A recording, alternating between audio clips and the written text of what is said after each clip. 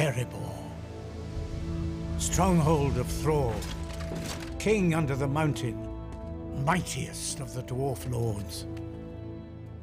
Thror ruled with utter surety, never doubting his house would endure, for his line lay secure in the lives of his son and grandson. Ah. Built deep within the mountain itself, the beauty of this fortress city was legend.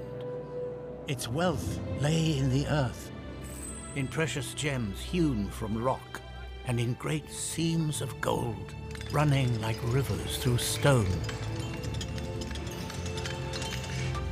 The skill of the dwarves was unequaled, fashioning objects of great beauty out of diamond, emerald, ruby, and sapphire.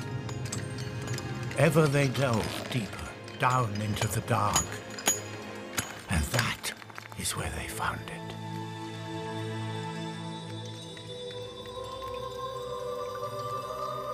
The heart of the mountain. The Arkenstone. Thror named it the King's Jewel. He took it as a sign, a sign that his right to rule was divine. All would pay homage to him, even the great elven king, Thranduil.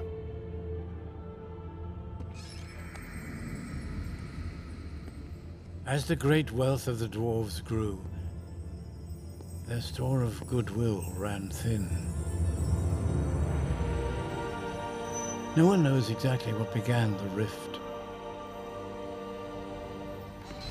The elves say the dwarves stole their treasure.